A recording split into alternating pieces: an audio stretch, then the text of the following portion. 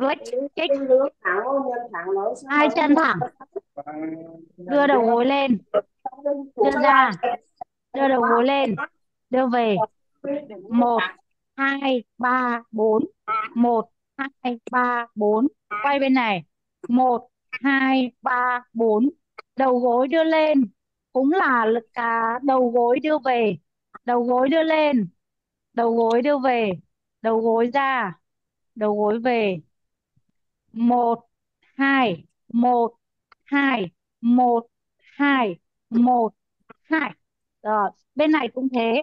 Tương tự, một, hai, về, một, hai. Giơ đầu gối, thu đầu gối. Một, hai một, hai. Rồi, bây giờ mình sẽ chập đổi chân nhá.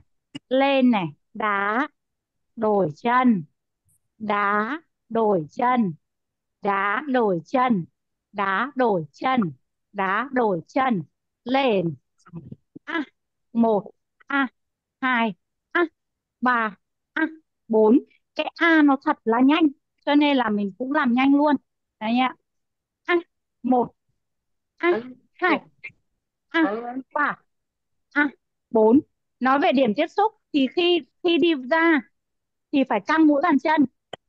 Khi đi về sẽ đứng trên cạnh trong bàn chân. Cạnh trong bàn chân để làm gì? Để không đè quá nhiều lực lên đất, để nó sẽ làm cho mình bị tăng lên trên. Cho nên đặt nhẹ thôi, đặt nhẹ rồi mới chuyển sang. Mũi ức gan gót, mũi ức gan gót, mũi ức gan gót, mũi ức gan gót. Nhưng mà nó lại khác khác các điều khác ở chỗ là không phải mũi ức gan gót thẳng thế này, mà nó lại vòng vào trong mũi ước gan gót đây là làm quá lên nhá, không phải thực tế, không phải như này nhá.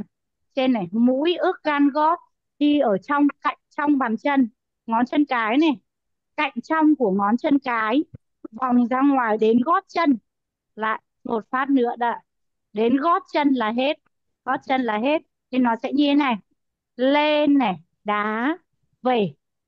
Chuyển trọng tâm, lên, đá, về. Lên, đá, về lên đá về. Lên đá về. Lên đá về. Sẽ có một cái lực là lên. Hất lên. Hất lên. Đó, nếu như nhìn nhanh sẽ là đưa ra đưa về đưa ra đưa về đưa ra về. Hất này. Hất này. Hất này. Sẽ phát sinh ra một cái lực nó kéo cái này. Kéo cái này. Vậy thì làm thế nào để chống lại cái lực đấy? Đấy là lúc mình nhún. Mình nhún mình lấy đà. Nhưng nhún không phải là nhún lên xuống mà là lăn dọc bàn chân. Lăn dọc bàn chân thì sẽ có một cái, gọi là, đầu gối đưa ra. Khi đầu gối đưa ra thì cái phần này nó sẽ đưa vào. Thế phải làm thế nào? Đầu gối đưa ra này, đầu gối này. Lên, lấy đà. Lên, lấy đà. Lên, ấn xuống và lên, ấn xuống. Lên, ấn xuống. Lên, ấn xuống. Đá sang đá sang đến như sau.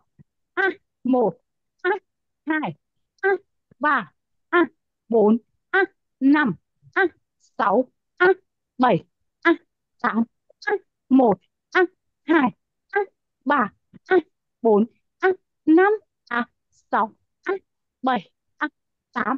Đó cái kia đấy là đá ra.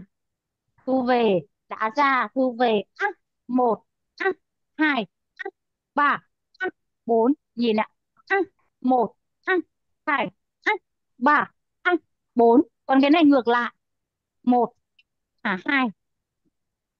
Ba thả bốn. Năm thả sáu. Bảy thả tám. Một thả hai. Ba hả một giữ thả hai. Ba giữ. Giữ. Giữ. À, một à hai. Ba à bốn. Năm à sáu. Bảy à tám. Một à hai. Ba à bốn. Năm à sáu bảy. À tám. Quan trọng nhất là bước này là đưa chân ra giữ sau đó đổi chân. Lại tiếp tục đưa chân ra giữ sau đó nhảy lên đổi chân. Nhìn thế này ạ. Đưa ra giữ và đổi chân. Ra giữ đổi chân. Một. Một. À hai. ba. Ba. À bốn. Năm. À sáu. Bảy. À tám. Bên này. Một hai. Có bốn năm. Và sáu. Bảy. Thả tám. Và bước này sẽ chủ yếu để đổi vị trí, quay bốn hướng. Một ả hai, ba ả bốn, năm ả sáu, bảy ả tám. Đó mình sẽ quay được bốn hướng. Còn cái này đá, thường là đá sẽ một hướng mà thôi. Những trường hợp đá của right sai này. Trường hợp thứ nhất trường hợp thứ nhất là đá ra. Đá. Của chị Ngân là nó đang thế này này. Đã dơ lên rồi nhưng mà nhưng mà lực nó bị bắn lên trên. Không nhá. Đúng là giữ căng ở đây. Lên, về. Ra, giữ căng. Giữ, dừng ở đây luôn chứ không có bắn ra. Như này là không đúng. Như này là lực nó bị bay ra ngoài mất rồi. Đấy là cái thứ nhất. Cái thứ hai, không đạp à xem lại đây nhá. Không đạt đạt đạt đạt đạt nhìn rất là không có duyên một tí nào. Dạ đạt nhìn lại cái ờ, cái của chị Ngân này. Cái này là đưa cái uh, cổ chân ra thì đúng hơn. Cổ chân ra mà đưa đùi. Đùi. Bê đùi. Bê đùi. Á, bê đùi. Bê đùi. Bê đùi. Thậm chí mình để hai cái tay ở đây này. Lên xuống nhớ lên xuống. Chúc hẳn mũi bàn chân xuống. Chúc xuống. Đó và cái chân kia cái chân còn lại hơi trùng một chút. Khi đi ra hơi trùng một chút. À trước khi đi này trùng lên. Đưa ra hơi trùng để lên và về. Trùng lên. Đưa ra hơi trùng lên và về. Thế tại sao thu được cái đầu gối? Bởi vì là mình trùng và căng, trùng và căng. Tập cách trùng và căng như sau này, hai chân sát vào nhau. Trùng đầu gối xuống, bật ra sau. Trùng đầu gối, trùng đầu gối, trùng đầu gối, trùng đầu gối. Cái này không phải là nhún. Nhún rất đau đầu gối và rất mệt cái này là lăn dọc bàn chân. Lăn dọc bàn chân thì khi mà mình lăn lên, đầu gối sẽ đưa ra trước. Khi mình lăn về, cái chân sẽ bị giật về. Lăn lăn lăn lăn. Nó tạo thành lực nhún.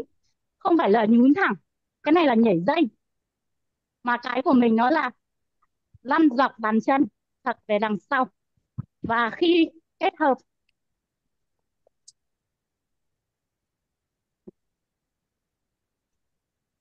nhanh nhanh chậm. Nhanh chậm nhanh chậm nhanh, chậm. Cái hay của bước này, bước đá là cần phải làm thật nhanh và chậm.